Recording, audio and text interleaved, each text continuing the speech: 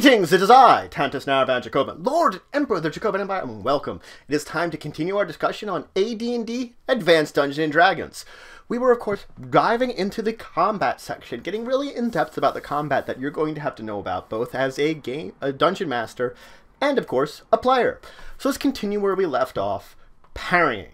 Now, parrying is an optional rule technically. Now, it's assumed in the course of a combat round because it is about a minute. You're going to be blocking some attacks in the course of it.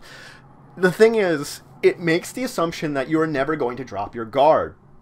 It's not really built into the rules for you to be able to do that. Dropping your guard would imply that you're not adding your dex bonus, whatever it would be, to your AC, meaning you're kind of like leaving yourself a little bit more open. You're not trying to dodge out of the way of attacks. It doesn't ever assume for that. What you can do is you can choose to try to defend yourself more. You can choose to, to not take any actions on your turn. No attacks, no spell casting, no movement, nothing. And in turn, you receive a bonus to your AC equivalent to half whatever your character level is. Now, this is a little different from a warrior because they would get half plus one. So assuming if you're a six level character that's not a warrior, you would subtract three from your AC, increasing it by that very much because you're choosing just to effectively defend yourself and parry against varying kind of attacks. Now, this doesn't work on any kind of attack from your rear, does not work on missile combats, and it doesn't work on special attacks like magical-based attacks that might be coming at you. This is just for your standard melee-based attacks. Now let's talk about missiles in combat, because missile attacks are another major important kind of attack that's going to happen. There are two types of missile combat. The first is direct missile combat. That's assuming something like a sling or bow and arrow, direct attacks that you're making against someone else. The other category is indirect or kind of splash weapons, thrown weapons, things that you chuck at someone and try to indirectly affect them. But let's dive into the direct ones even more. Now, direct ones do have a couple of factors relating to it. First off is, of course, range. Now, every weapon has a short, medium, and long range. Short range assumes that it's up to this number, whatever it's called at short range, you'd receive no penalty for making these attacks beyond short range as soon as you've exceeded that number. But before you reach the medium range number, you are within, of course, medium range. Medium range tells you the upper end of the medium range. During that time, if I should make an attack roll, and if it's at that range, I would receive minus 2 to my attack roll. Now, beyond medium range and all the way up to what's called the long range is, of course, long range. At that point in time, as soon as I've passed medium, but before I hit that maximum of the long range, I'm within long range, and I receive minus 5 to any attack rolls beyond the long range, I can't attack that far. It's out of my range, effectively. It's beyond the reach of my weapons and able to shoot that far. Now, most of these types of weapons will have a rate of fire, whether it's being able to throw three daggers in a turn or shoot two arrows from a bow. It will define it as multiple attacks. You will treat this the same as any other multiple attacks that you might have in the course of a round meaning you'd get one off at your normal initiative and then of course fill in the rest of them at the end of the turn after everyone's acted. Now, there is some exceptions to this. There are those that have a rate that require them to reload that takes longer than a round, that it might be every other round you can fire. That's actually another type of rate of fire. It just means it's slower, of course. Now, the, there are major defenses you can use against missile combat, in particular, cover. Cover is the most important defense you're going to be using in a melee combat, and it comes in two types. The first type of cover is called concealment, really, and is referred to as soft cover. It means that it is something that's only kind of blocking your way, kind of physically, it, it would mean that an attack could theoretically pass through this cover when trying to get to you. That it's not technically blocking it, is physically blocking it. Now, the other type, of course, is whatever would be just referred to as actual cover or hard cover. This would be something like a wall or a tree, something physically that would block an attack. Now, each of these types of cover has a penalty that it gives to the enemy's attacks equivalent to how much percentage of your body it covers. The greater percentage of body that this cover gives, whether it's soft or hard cover, the more of a penalty it gives to the attacks used against you.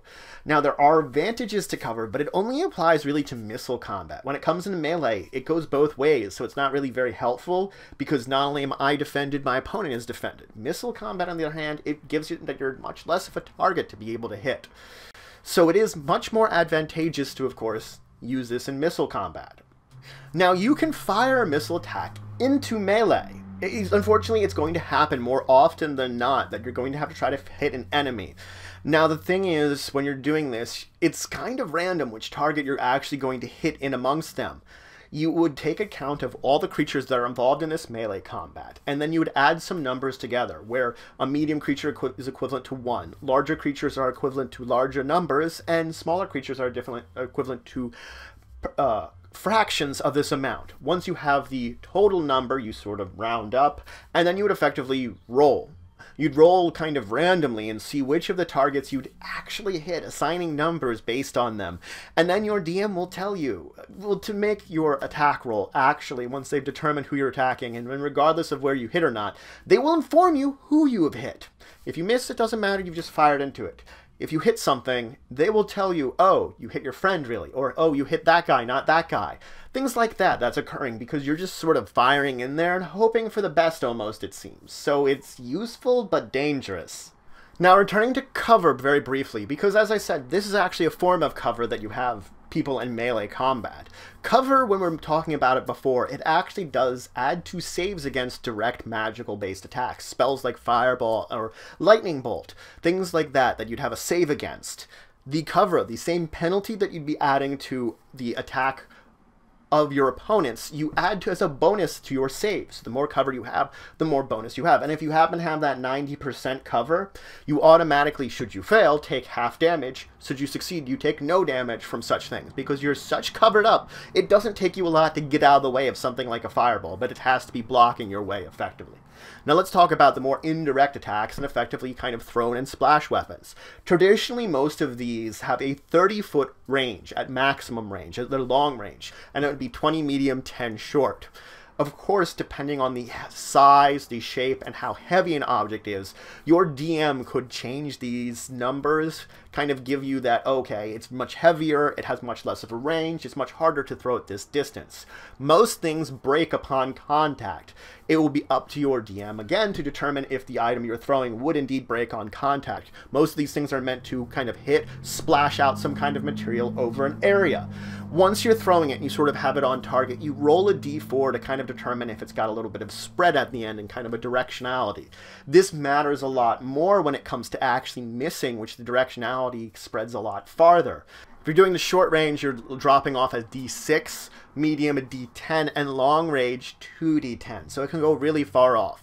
Now it's important to note here that you do not need to make an attack roll at that short range because you're so close to it. So as long as you're at short range, you don't actually have to make an attack roll.